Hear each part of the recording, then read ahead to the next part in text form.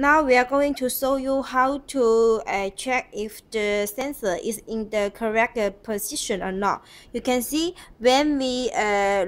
turn this wheel, you know the light wheel shining, which means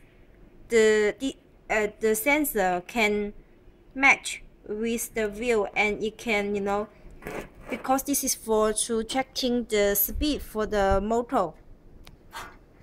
if the light continue to shining means it is okay but if the light is not never turn uh, dark or never light